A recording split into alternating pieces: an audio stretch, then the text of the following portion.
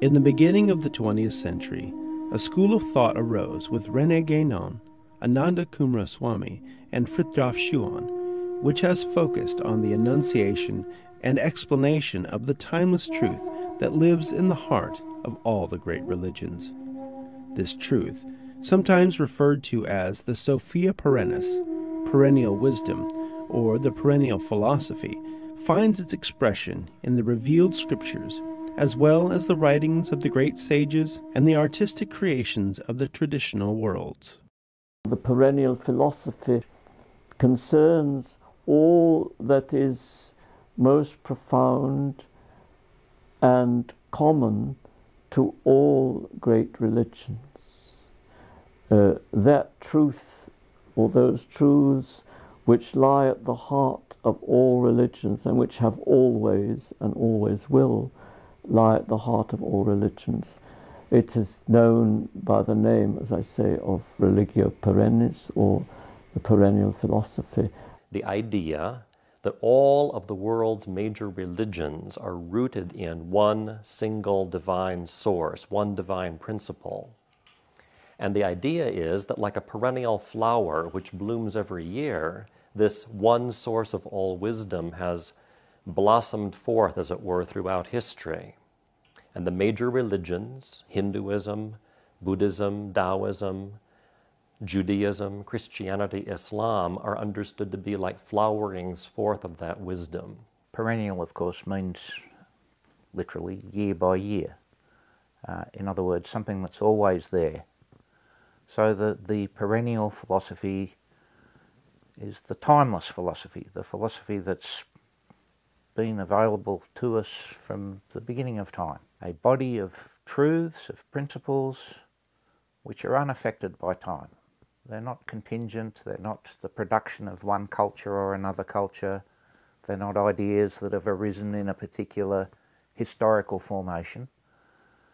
Uh, they're ideas, principles, truths, which are permanent, which have always been with us. So it's, it's from, a, from, from the point of view we're discussing here, it's not a matter of trying to think up some new ideas, it's a matter of uh, trying to understand those ideas and principles which have always been. One can speak about all the religions having a common inward truth.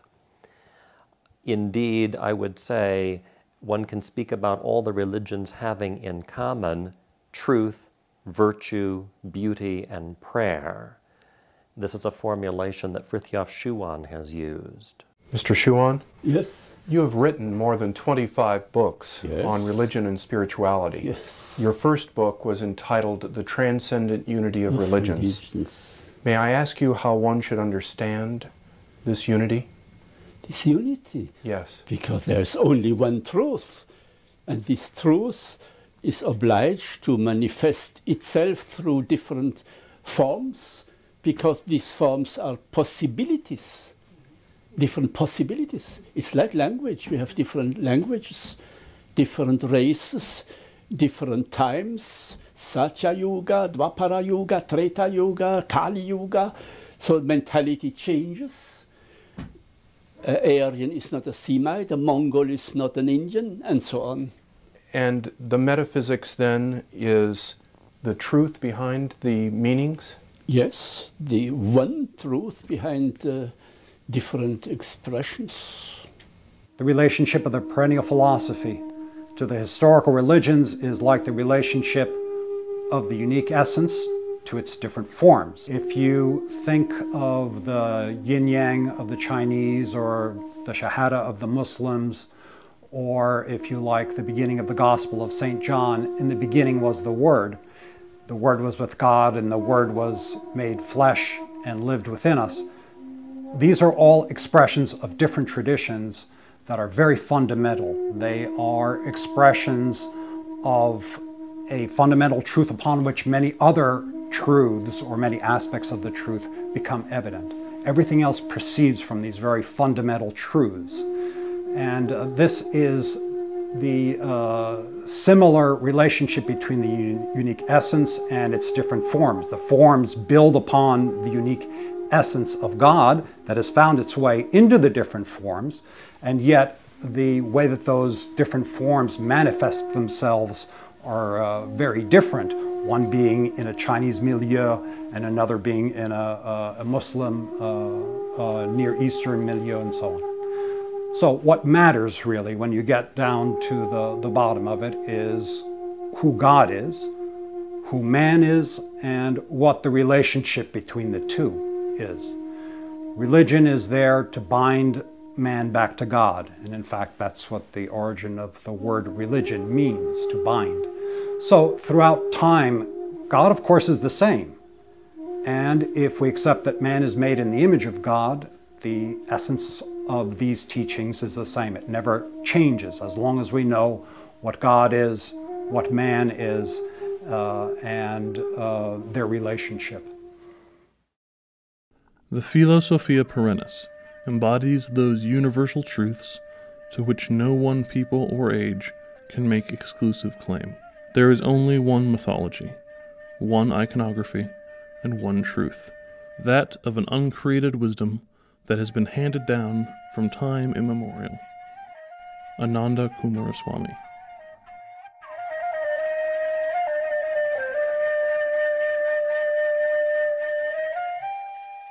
A perennialist is one who understands, as best they can, the perennial philosophy, who adheres to it, who not only subscribes to it as a set of propositions, but who tries to live by it, who tries to actualize it. Traditionalist, I think uh, I used to use this term a lot myself, and in fact, uh, my first book was entitled Traditionalism. It's a term I feel less comfortable with now uh, because I think it's more limited than perennialist. Uh, tradition is certainly one of the key ideas in both Guénon and Schuon.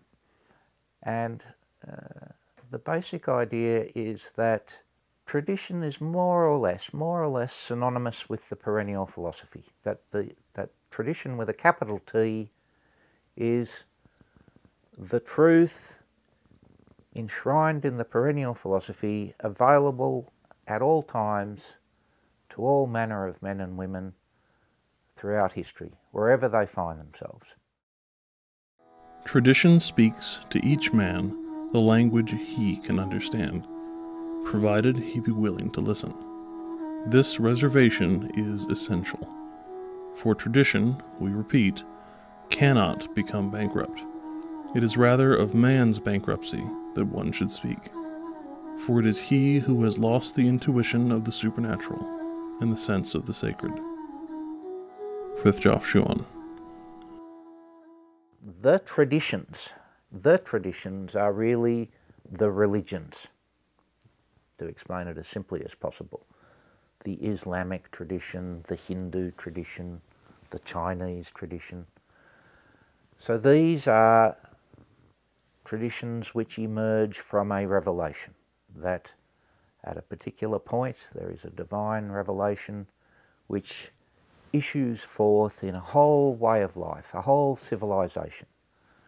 This is really, I mean, again, the modern mind finds this difficult to apprehend, but this is really what a civilization is. It's a incarnation, as it were, a playing out through time of the truths enshrined in a particular revelation. So, what is the Islamic civilization? It is the material working out the material manifestation of the descent of the Quran, the life of the Prophet, and so on. All of this is that is the foundation from which all else flows. So, a traditionalist is someone who believes in tradition in both those senses tradition as a kind of primordial wisdom and the traditions. So, a traditionalist believes in the primordial wisdom and believes in the validity of the different religious traditions because they all come from God. It is tradition that transmits the sacred models and the working rules, and thereby guarantees the spiritual validity of the forms. Tradition possesses a secret power which is communicated to an entire civilization and determines even those arts and crafts whose immediate objects include nothing particularly sacred. This power creates the style of a traditional civilization. Titus Burckhardt. I've come to the view recently that perennialist is a more satisfactory term, although of course not without its problems also, because in the in the popular mind, the phrase the perennial philosophy is associated, of course, with Huxley, and with Huxley's book of the 1940s, The Perennial Philosophy, a fine book in many ways, but uh, in other ways rather confused and idiosyncratic. And there are also various quasi-spiritual, quasi-religious movements which lay claim to a perennial philosophy. So sometimes the works of someone like Mr. Schuon or Guénon become confused with, let us say, Aurobindo or Aldous Huxley or people of this sort. And this, this kind of confusion can lead to a lot of misunderstanding. So uh, even with the term perennialist, it needs to be defined and clarified and uh, disassociated from various other movements which share a certain amount of ground with the perennialists proper, but which in other respects are actually, they don't realise this, but they are actually symptomatic of the confusions of modernity.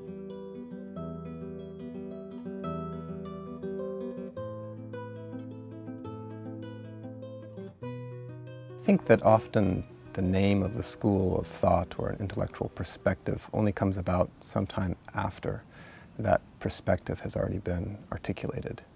In the case of the traditionalist school or the perennialist school as it's variously called today, the founders of that school themselves were not overly interested in titles. One might even say that they weren't interested in the ism, but in the thing itself in the content of the school.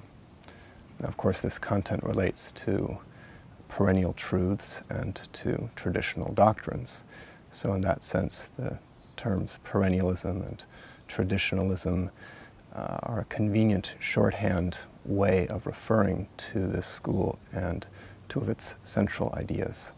The perennialist school is um, a school which was in fact initiated by René Guénon as the first writer in time.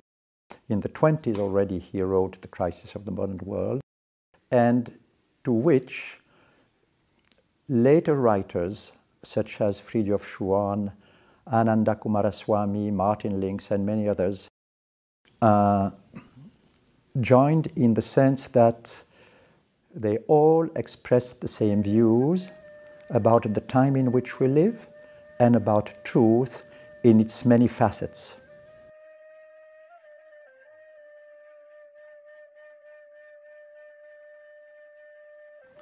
Traditional societies were closed systems, meaning that each religion had its own culture based on its beliefs and traditions, of course, going back to time immemorial.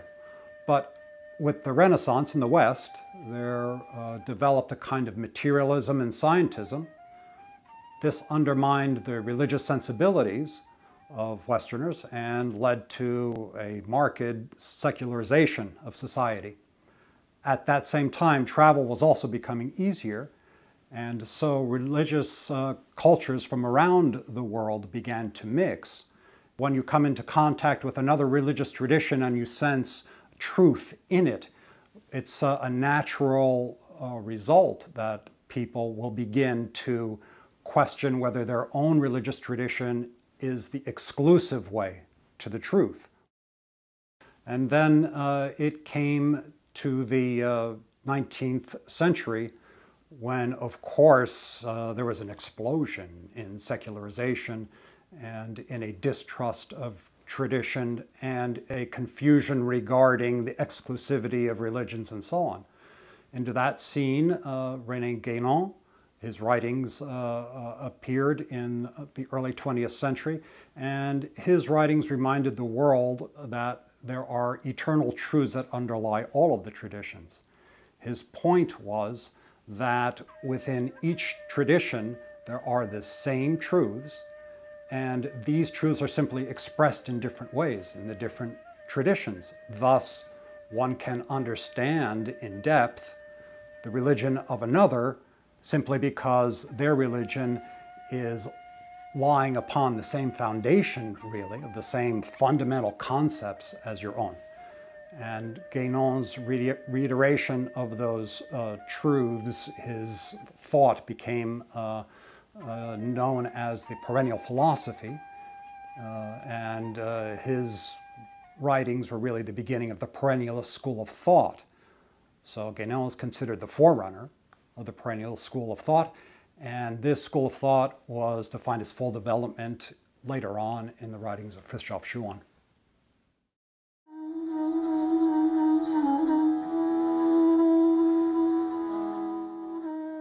Yes, René Guénon was the first to write, first of all, uh, criticizing the modern world, placing it where it belongs, that is to say, at the very end of what the Hindus call the Kali Yuga, the fourth age, and then to speak about metaphysics, ultimate reality, uh, and its innumerable modalities and attributes and aspects. So, first of all, he cleared the ground, so to say, by saying the modern world is something quite unusual and extraordinary in the life of humanity.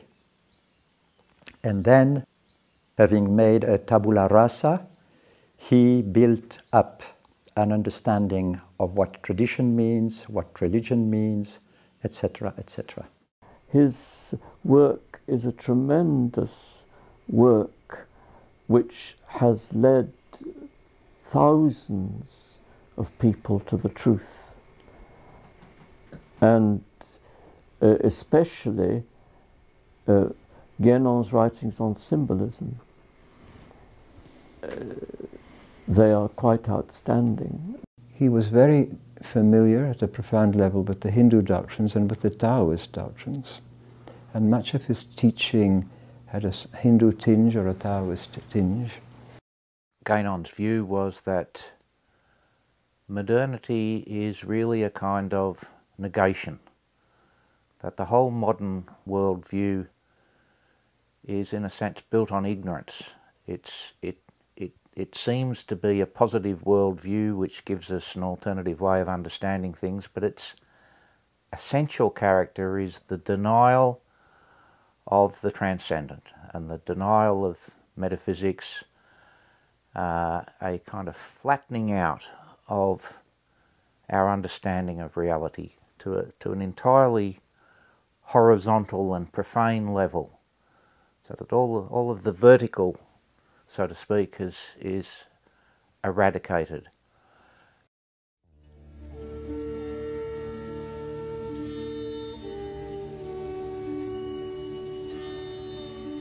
Ananda Coomaraswamy, from an early age, he manifested his genius in the realm of scholarship.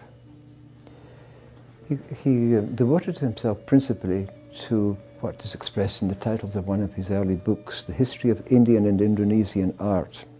Relatively late in his life, he discovered the writings of René Guénon. And immediately that opened up his, it was like a, stroke of lightning, lightening up his horizon. He was already one who understood traditional Hindu art in depth. But the writings of Guénon opened up to him the perspective of the traditionalist vision of things. And he became a great exponent of the traditionalist point of view. He considered himself and always said that he believed in the philosophia perennis, uh, had uh, you know, this was essentially the fruit, you might say, of his uh, seeking the truth in a variety of places and ways. And uh, he certainly believed uh, that the truth has always uh, been with us in one form or another, though often renewed uh, by uh, a divine descent of one form or another. As uh, the world grew old and uh, people forgot these perennial truths, God in His mercy would uh, renew them uh, in the most effective way. And I think that He felt that way.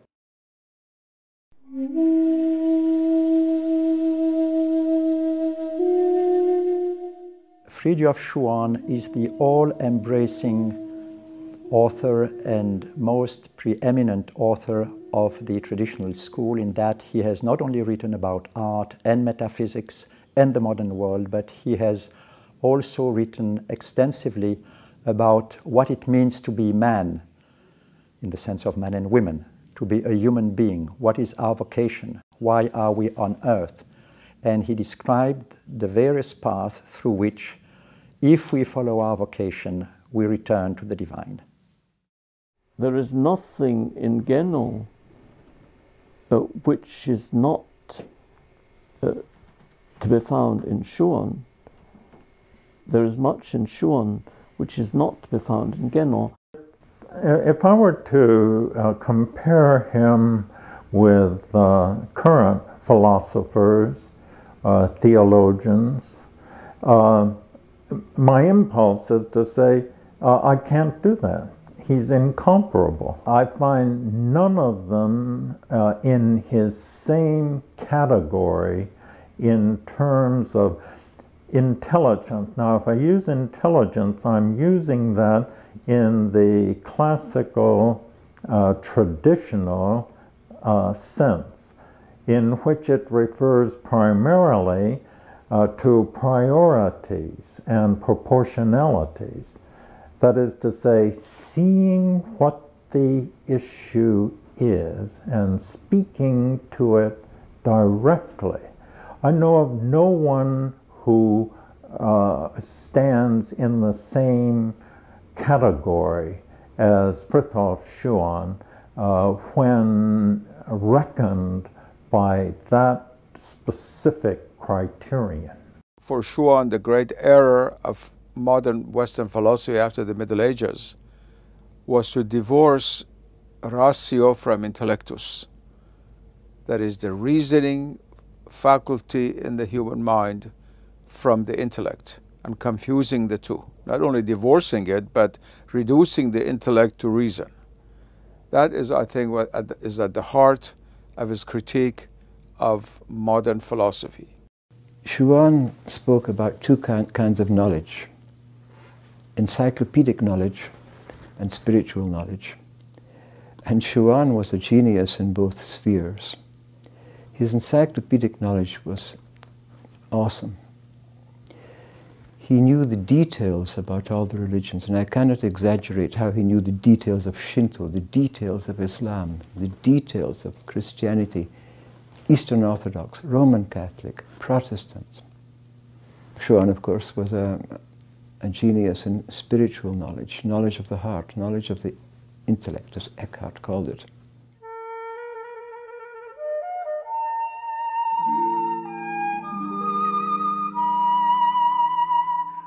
Titus Burckhardt was a wonderful writer. His writings were very clear, crystalline, and uh, he himself was like a crystal. Uh, not only made, did he make a major contribution uh, in writing about Islamic art and Islamic metaphysics and religion, but he was also one of those magnets, people to whom everybody else feels attracted. Titus Burckhardt tended to specialize in cosmological subjects. He dealt with the spiritual astrology of Muhyiddin ibn Arabi, and he wrote a book on alchemy, the spiritual symbolism of metallurgy. And that is, may I call it, a wonderful eye opener as to what this rather mysterious and obscure subject of alchemy really means. The other aspect of Burckhardt's work is his uh, analysis of scientism and its many ramifications in modern life, and in, in particular, the essay Cosmology and Modern Science, where he, he says what most needs to be said about modern science generally and about some of its particular manifestations, uh, particularly evolutionism and psychologism. Also, when he was a specialist in traditional art, one can regard that as belonging to the domain of cosmology. Sacred art. In two books, his writings on doctrine and sacred art and cosmology are well summed up.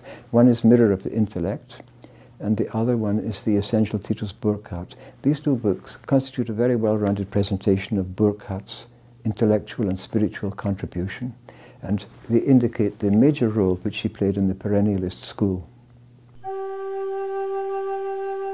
Mention should also certainly be made of Martin Lings, who uh, in some respects is, is um,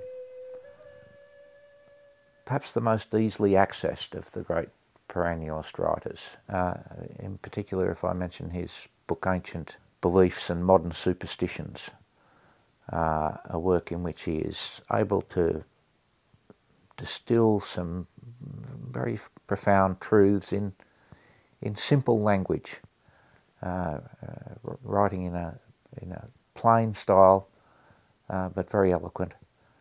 Uh, I've found that a very useful work for introducing people to the to the uh, perennialist outlook. I think perhaps his most important work is his Life of the Prophet, based on tr traditional accounts.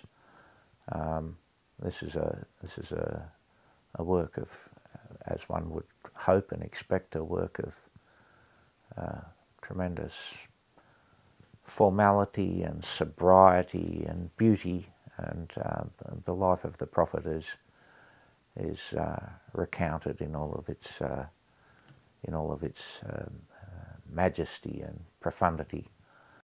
The ancient beliefs and modern superstitions is, in a nutshell, talks about the paradox of this idea of modern idea of progress, which is a myth, as opposed to traditional worlds who are anchored in realities, eternal realities.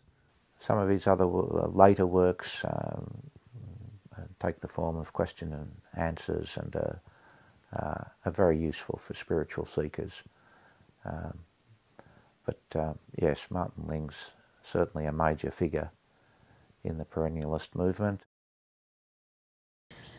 Marco Pallis was born in 1895 and he became one of the earliest Western practitioners of um, Tibetan Buddhism. He traveled to Tibet on several occasions and nearby countries as well and studied there with lamas in the tradition. He was also deeply influenced by the writings of the traditionalists uh, Rene Guénon, Ananda Coomaraswamy, and Frithjof Schuon, each of whom he in fact knew personally and interacted with as a committed Buddhist and as a traditionalist as well, he wrote naturally on Buddhism, especially in its uh, Tibetan branches, but also on the nature of tradition in general. He was particularly interested in what he termed the Buddhist Christian dialogue, uh, recognizing that while on one level there are certain irreconcilable differences between the traditions, on another and higher level these two traditions join hands, so to speak, in a transcendent unity. At the time of, uh, of Pallis's early writings, um, uh, the Tibetan tradition was very little known in the West, and those who knew anything of it tended to have a rather prejudiced view of it as some sort of, you know, superstitious hocus pocus and, uh, you know, mumbo jumbo uh, Marco Pallis uh, in, in Peaks and Lamas and later in The Way and the Mountain, which I actually think is a much more important book than Peaks and Lamas, although much less popular. Marco Pallis was able to give us a, an account of the Tibetan tradition in the context of uh, the perennialist outlook. So uh, his, his works also, I think, have a very special place in the in the uh, perennialist school. Lord Northbourne was one of the English members of the perennialist school. He came to this perspective actually through his writings and interest in agriculture. He was the, um, credited with coining the term organic farming. And for Lord Northbourne, organic farming didn't just mean not using uh, pesticides, it meant the proper relationship between, uh, between man and his creator, between the, the whole cosmos as a whole should be maintained. His very first book, Look to the Land, was discovered by Marco Pallis, and uh, it was Marco Pallis who introduced him to the perspective, and he went on to write um, two beautiful and very simple books that uh, introduce the perspective to a wider audience. Another Englishman, uh, more or less contemporary with Martin Lings, uh, his work, Religion in the Modern World, is a marvellous introduction to uh, traditionalist thought. Uh, again, written in a fairly simple style and uh, not requiring any technical expertise in metaphysics or uh, philosophy or anything of that sort. So a, a, work that any intelligent reader can can read easily. In the years from the 1920s to the 1960s, the works of Guénon, Coomaraswamy, and Schuon kindled writers in such diverse fields as Christianity, the American Indian religion, and comparative religion studies to write about the unifying and perennial themes of the world's great religions. Whitall Perry met Guénon in Egypt and later moved to Switzerland to live near Frithjof Schuon. Perry wrote scathing critiques of the modern Catholic Church and Gurdjieff, but he is best known for his monumental compilation titled A Treasury of Traditional Wisdom. Joseph Brown read the works of Frithjof Schuon and soon attached himself to him, serving as Schuon's intermediary with the American Indian spiritual leaders during the 1940s and 50s, which led to Brown's book, The Sacred Pipe Black Elk's Account of the Seven Rites of the Oglala Sioux. Philip Sherrard was an English author and scholar educated at Cambridge who entered the Orthodox Church while writing his doctoral thesis in Greece. In his writings, Sherrard described an oncoming environmental catastrophe which he believed was the result of mankind's neglect of spiritual ideals and practices from a perennialist perspective. Seyyed Hossein Nasr's first introduction to the writings of the three leading perennialists, Guénon, Coomaraswamy, and Schuon, came during a seminar on Oriental philosophy in his junior year at MIT in the early 1950s. Nasr was deeply influenced by Schuon's metaphysical and philosophical writings, and when he eventually met Frithjof Schuon in the 1960s, he recognized Schuon's spiritual authority and depth. Over the ensuing decades, Nasr has made a unique contribution to bringing the perennialist perspective into the academic study of religion. Seyyed Hossein Nasr, of course, is the one who has done perhaps most for the propagation of, of the perennialist outlook through his tireless uh, participation in debates, in, in broadcasts, in conferences, through his relentless traveling around the world. Uh, he has worked uh, tremendously uh, for, for perennialism and, and tradition. Seyyed Hossein Nasr is a, is a rather unique case of a perennialist or traditionalist who is at the same time an academic. He's a well known professor in Washington, D.C., and he has published extensively not only on tradition and on religion, with emphasis of Islam, because after all, he's professor of Islamic studies in America, but also on the environment. His writings on, on the environment are extremely important because he has described what nature really should mean to man as a symbol of higher realities as being essentially sacred when modern man regards nature as a thing, just a thing without meaning, to be exploited and to be used according to his whims and fancies. All environmentalists ought to read his book Man and Nature because it's so important, giving the complete and comprehensive dimension, and not only that of the scientists.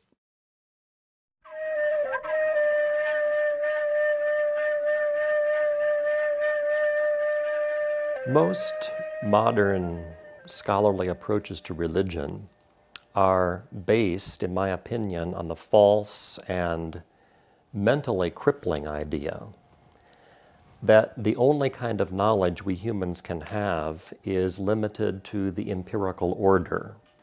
We have to see, hear, taste, touch, or smell something to know it.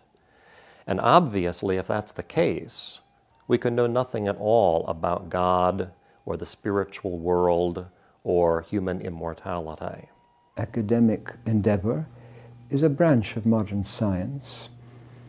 And the problem with modern science is not that it tells us the truth about atoms. The problem with modern science is that consciously or unconsciously it excludes higher levels of reality from the beginning. Therefore, it can never reach higher levels of reality in the end. Modern scholars, therefore, who have this empirical bias, are essentially limited to doing one of three things. The first simply look at religion as nonsense and spend their times debunking it cynically, skeptically, as something that's a kind of residue from man's pre scientific past. The second group of scholars would say no, religion has certain positive value, but that value is still strictly historical, horizontal, and social. Religions promote virtue, honesty, justice, and so forth. And then a third group would be themselves personally believers in God, but they would feel as though they have to shield that belief from their students, still, like the other scholars, speaking only about historical matters the transmission of sacred texts over time, archaeological evidence from ancient sites, and so forth. Let others dabble in mental sport, or what passes for such. That is their affair. But such things as these are of no interest to us. For the metaphysician, what matters is to know what is, and to know it in such a fashion as to be oneself truly and effectively what one knows. René Guénon. Schuon once referred to these things by saying that modern inquiry starts from doubt, and ancient wisdom started from certainty. In academia, one is often trained in considering things on the level of the ground, so to speak, as we say in French, on the level of daisies whereas uh, Schuon's point of view is that of the, of the eagle, as it has often been, been said. Um, so these, these two scopes are, of course, antagonistic in a certain sense. Most college professors, most other faculty, having been trained to suppose that ideas and worldviews are strictly a function of historical period, uh, political or economic class, gender, etc., etc., most scholars don't think you can have any notion whatsoever of something that's truly absolute. There's no truth with a capital T for those people. I am not a relativist. Today, today all the scholars are relativists. I am, I am absolute, absolutist. Hmm. That's the, the difference, hmm. you see. Hmm. I believe in truth, and the official scholars don't believe in truth. Perennialist scholarship begins with the conviction, as Frithjof Schuon would put it, that man is made for the absolute. In other words, that we have a capacity to know God directly. The perennialist teaches about religion, he writes about religion, with the idea, with the conviction that his teaching and writing can have a transformative impact on his students, changing not simply how they look at the world, but the world that they look at, changing the kind of people they are. I think in this regard of something that the great metaphysician and art historian Ananda Coomaraswamy once said he was asked about his own scholarship, and he said that he did what he did in the first place for his own soul's salvation, and secondly, for those who might benefit from his results. And this seems to me characteristic of all perennialist scholarship. Frithjof Schuon first said that I write to make people think correctly. He was interested in reviving the art of thinking correctly, and he addressed his books to the intelligent Western audience whose intelligence had not become atrophied by the limited perspectives of modern philosophies, sciences, and the like, whose intelligence had not become totally divorced from the sacred. Uh, his writings tried to address people in whom uh, attraction to the sacred and functioning of intelligence went together. Most students are open to the idea that there is a truth to be known, something that's behind or beneath or beyond this world of facts and change. And those students respond very positively, I would say, in general terms, to a perennialist perspective or a perennialist approach to religion and philosophy, sacred art and symbolism, and so forth. As an example, I find that Frithjof Schuon's signature idea that there is a transcendent unity of religions works beautifully as a framework in my introductory class to world religions. And I also make use of his teaching that every religion is a combination of doctrine and method, of theory and practice. Also, his teaching that the spiritual life is a combination of truth, virtue, beauty, prayer. These insights work very well at that level of teaching. It's not too difficult to find modern philosophers of religion now who write about pluralism and about accepting other religions as legitimate, and they almost inevitably advocate tolerance. But what are they really saying? If their underlying point of view is that no one religion can possibly have full possession of the truth, but that many religions can have various elements of the truth in them, then these uh, uh, modern philosophers can uh, safely advocate tolerance among the religions since they're all equal as imperfect receptacles of the truth. This kind of approach to religious tolerance might look enlightened on the face of it, but it's based on a constriction of the scope of each religious tradition. It assumes that none of them can transmit the full truth and therefore uh, also a full and really adequate spiritual method. It's like deciding that no one form of music can express perfect musicality in every aspect, so therefore each is equally inadequate and thus due an equal measure of tolerance. Now, tolerance is not understanding. The approach of perennialists is different. A perennialist philosopher teaches that each religion is in possession of the full truth.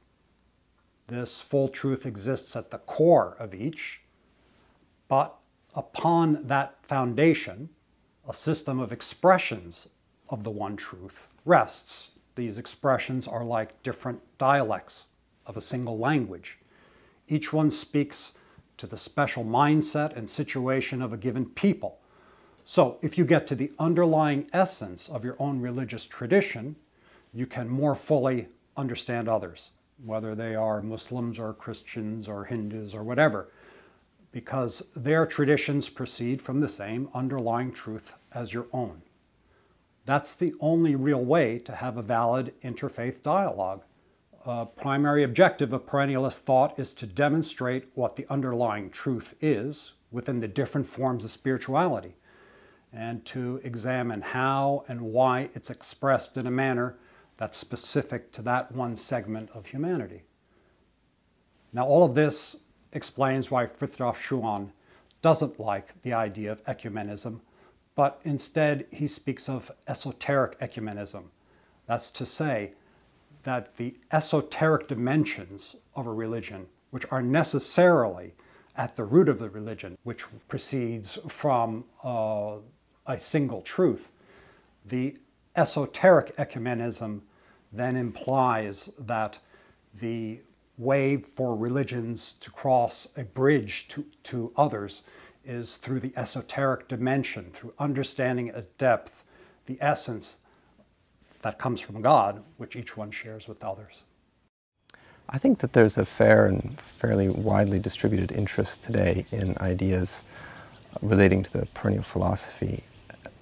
The, there's a desire to not only accept the validity of other religions, but to know how to also practice one of them. And uh, it's very easy to say that um, everything is valid. It's a little bit harder to say that everything is valid and I'm going to do one particular thing.